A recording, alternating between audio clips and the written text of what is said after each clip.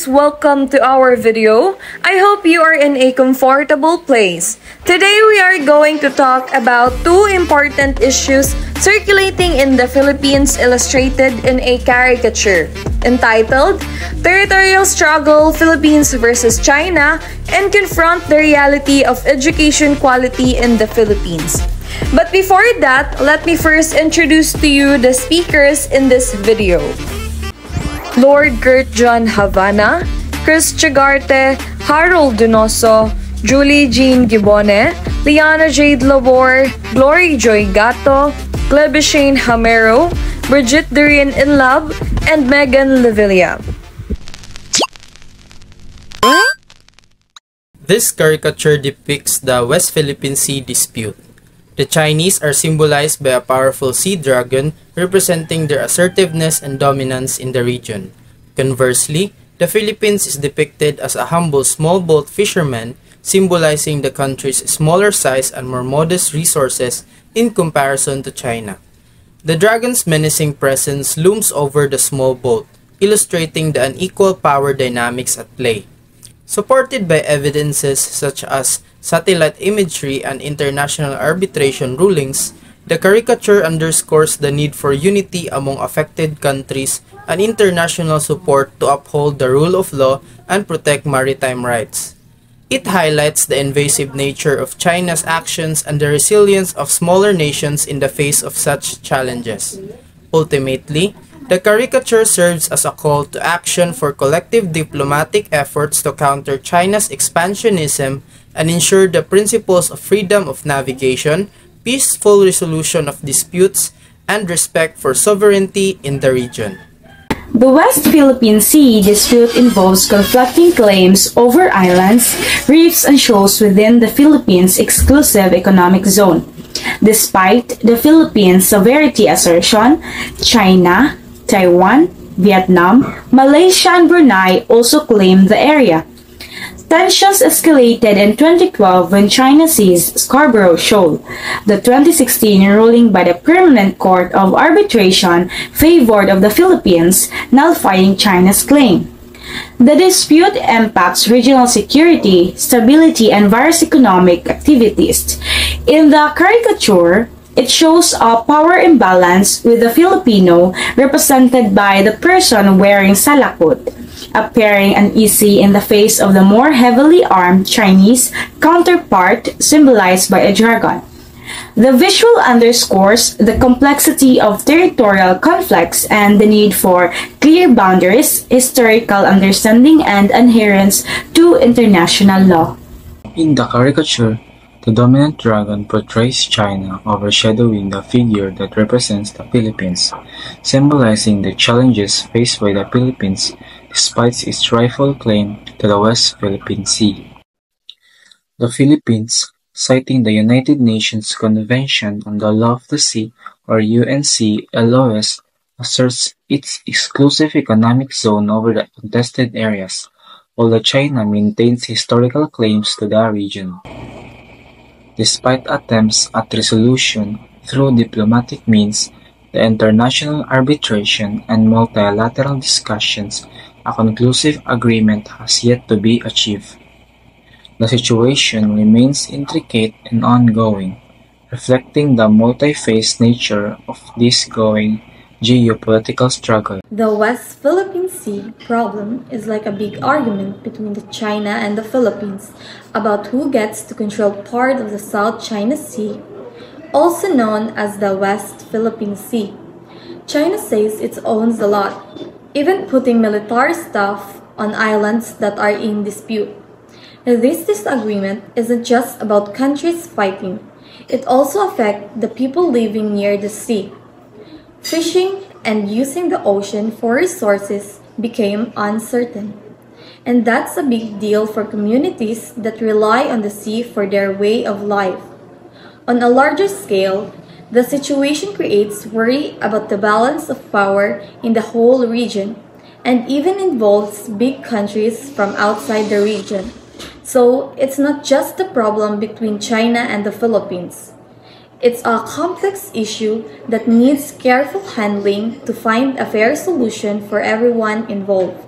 This caricature tells a strong story of a Filipino student wearing a salakot, symbolizing the nation's people, and a broken door representing the substandard education system in the Philippines.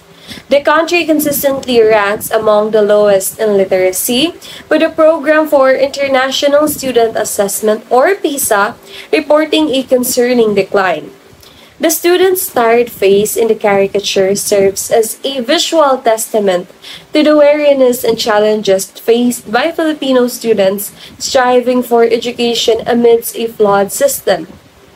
The message is not just about reading problems, but also asks for better things in schools, like more useful materials and better places to learn. It says we should work together to make sure Filipino students have what they need for school success and a good future. The lack of resources is one of the factors why there is low improvements of education here in the Philippines. Some schools are still experiencing the lack of materials, textbooks, and technology, which leads to make the teachers struggles to deliver effective lessons and impacts the quality of education itself. Lack of resources may restrict students' exposure to a variety of subjects and extracurricular activities and will limit their holistic development. Insufficient resources can lead to an inspiring learning environment, affecting student motivation and engagement in class. And if the student do not engage to the class, it will lead to poor education. The lack of educational resources can hinder the overall quality of education, the student success, and contribute to educational inequalities. The impact is not only an academic achievement of a student, but also with their personal and professional development. So we can't deny the fact that it affects both the educator and the learner. Sufficient resources such as up-to-date textbooks, technology, and well-equipped facilities will enhance the overall educational environment. Remember what Benjamin Franklin said, an investment in knowledge pays the best interest. These caricatures depicts the poor education in the Philippines. Many children are denied to access quality education due to overcrowded classrooms, insufficient resources, and lack trained of teachers. This situation not only robs our youth of the right to learn, but also perpetuates a cycle of poverty that traps families for generations. Considering those students who travel from the long distances just to attend school, not only to find themselves crammed into classrooms with few desks and chairs, Imagine the frustration of those teachers who only wanted to provide a quality education but are hindered by outdated textbooks and limited teaching materials. These problems are not just for individuals, but also a barriers for a nation's progress. Without a well-educated population, we cannot hope to compete in a global economy or tackle the challenges that lies ahead. There may be a disconnect between education and career opportunities if the curriculum and teaching techniques are not always in line with the demands of the workforce in the 21st century. This mismatch impedes the nation's economic growth and exacerbates the problem of low-quality education. The Philippines' poor educational standards are a serious issue because of things like inadequate financing, packed classrooms, and out-of-date textbooks. The largest obstacles comes from the lack of access into high-quality education in rural and underdeveloped areas. The recent PISA results really put a spotlight on the struggles that the Philippines education system is facing.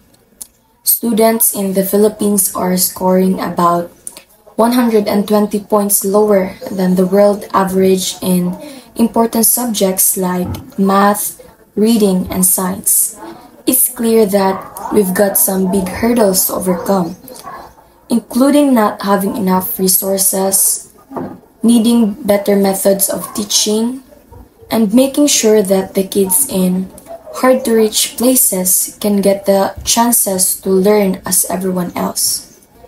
To make things better, we need to take some serious steps. This means better schools and training for teachers, updating what and how we teach, and making sure every student has a fair shot at a good education. We should also put more focus on teaching kids to think creatively and solve problems because these skills are going to be super important for their futures. If we don't take action to improve education, the Philippines might continue to fall behind, and that could mean tougher times ahead for everyone. We need to fix this for our kids today and for the countries tomorrow.